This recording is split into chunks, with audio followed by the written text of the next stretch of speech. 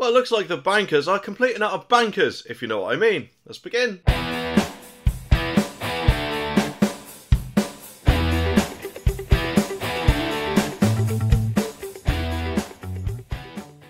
Let's just dive into the dramatic world of modern banking, shall we? It's not like your typical thriller, but when it comes to tech hiccups, it sure gets the adrenaline pump, but doesn't it? Because can you imagine just looking at your phone and seeing nothing? But of course, you know, as we all know, we're in the era of modern and trusty banking wrapped up in these fancy mobile apps, right? Well, it's apparently meant to be our portal into the world where our finances are at our fingertips. But what happens when the tech gremlins decide to have a little fun?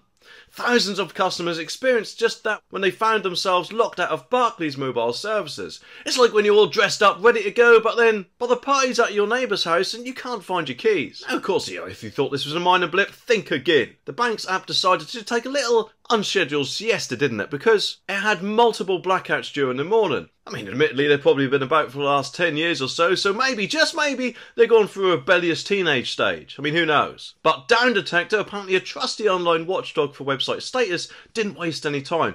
It received the distress calls with 2,700 complaints pouring in. And of course, you know, Barclays wasn't going to let this pass without a good old apology, were they? And I quote, If you're having problems logging into our online banking right now, we're sorry. Well, isn't that just heartwarming, eh? Especially when you've got to make a really important transfer. But of course, you know, you'll say, what's the problem? Just go down to the bank. Well, we could, Barclays, but the problem is, you and I'm guessing quite a lot of other companies seem to be doing away with them all. So our local bank might end up being about half an hour away or so rather than the five minutes down the road like it used to be. But of course, they have reassured us that the tech wizards were at hand to fix the issue. But in the meantime, you can still use their automated telephone service. But let's face it, we all know how fun that is, don't we? Possibly, you know, talking to a machine, then being put on hold for umpteen minutes, whilst, of course, listening to lift music. But of course, the plot thickens, doesn't it? Because they suggest searching for Barclays service status online. Because, yeah, we, we should all have to do that, shouldn't we? Ah, yes, the riveting search for the golden status update amidst the sea of other digital treasures.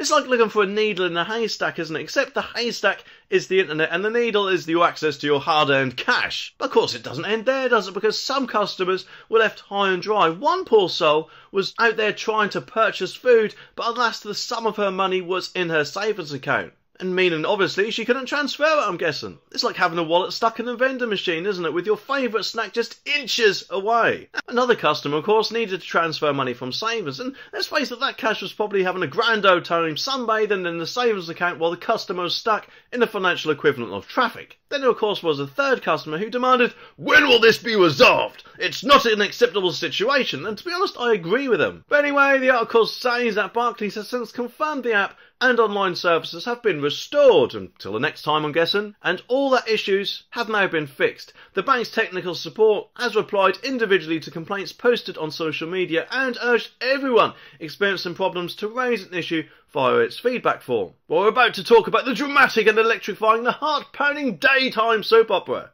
Yes, you heard that right. Soap operas, those gems of television that everyone falls asleep to. Well, that's just us blokes, I'm guessing, while their wives and girlfriends just love to watch them. With basically no end in sight, or not actually, in the case of BBC's apparently beloved Doctors.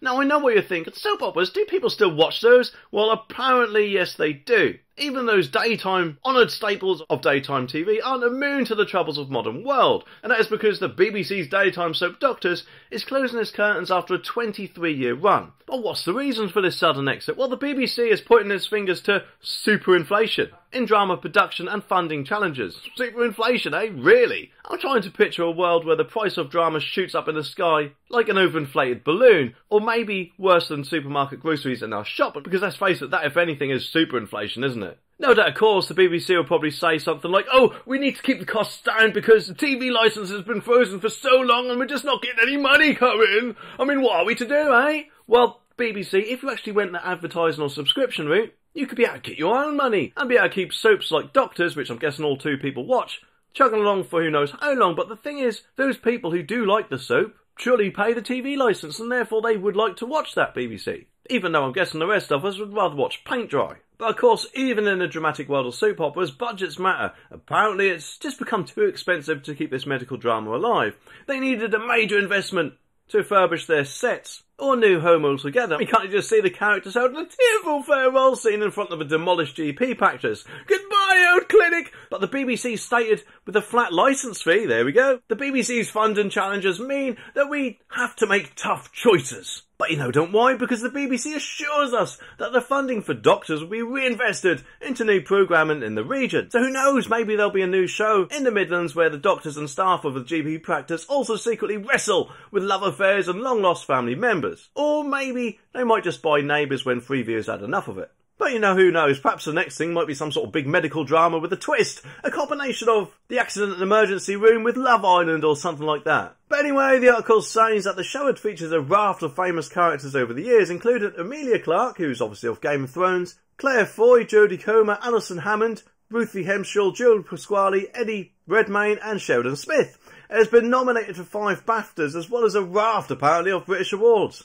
It was also nominated for Best Soap and eight years other prizes at 2023's British Soap Awards and won the Gong for Best On-Screen Partnership for Jan Pearson as Karen Hollins and Chris Walker as Rob Hollins. Well, it's time for a masterclass in the world of the scam dance. And leading the dance today is none other than HM Revenue and Customs, HMRC, let's face it, just love to get our tax money, don't they? I mean, picture this. You're minding your own business, maybe, you know, sipping a cup of tea or scrolling through your social media. And then BAM! You receive a message, an email or phone call saying, congratulations, you're the lucky winner. You've been targeted by fraudsters who just can't wait to get their hands on your hard-earned cash. Now, of course, these folks are often creative, aren't they? I mean, they've got more tricks up their sleeves than a magician pulling rabbits out of a hat. They're like the modern day Houdinis, except instead of escaping handcuffs, they're trying to escape with your wallet and HMRC, the government tax collectors, have been bombarded with 130 reports of scams in just over a year. And just what is the hot item on the fraud menu? Well, it is fake tax rebates. The audacity of it, eh? They promise you a refund and dangle that financial cut in front of your nose, and what they expect in return? Your personal information, your hard-earned money, and peace of mind. I mean, you name it. Of course, it doesn't stop there, do they? Because as the self-assessment tax return deadline looms, on the horizon in, I know, a few months, these scammers are having a field day. I mean, they know the deadline is January 31st, 2024, and they're ready to pounce. I mean, their tactics are probably about as varied as a box of chocolates on Valentine's Day. They'll send you texts, emails, and even ring your phone impersonating government officials. They're like actors in a never-ending play, and their main act is, give us your money or else. It's like Shakespeare meets the digital age, except the tragedy, unfortunately, is real. They're persistent too. I mean, sometimes they'll lure you in with the promises of a tax refund. That sounds so tempting, you'd think you'd won the lottery. But on the other hand, they might take the intimidation route. They'll tell you that the tax police are coming and you'd better pay up, otherwise you'll be going to Alcatraz prison. But Myrtle Lloyd, the Director General for Customer Services, steps in as our voice of reason. She tells us to be vigilant and not fall for the act. I mean, her message is clear. If it seems too good to be true or too threatening to handle, it probably is. But anyway, the article says that if you're ever in doubt, you can report any concerning correspondence to HMRC by forwarding scam text to 60599 and sending any suspect emails to phishing, spelled with a PH, at HMRC at gov. You can also report any fake calls to HMRC via the government website. And HMRC said it has dealt with 60,000 of these as the tax office will never ask for personal information over the email or phone. As said, it already managed to get 25,000 malicious web pages taken down over the last year and contact HMRC directly if you feel like something isn't quite right. But there is some good news because in this video, it looks like Sadiq Khan will be refunding people over the dreaded ULEZ.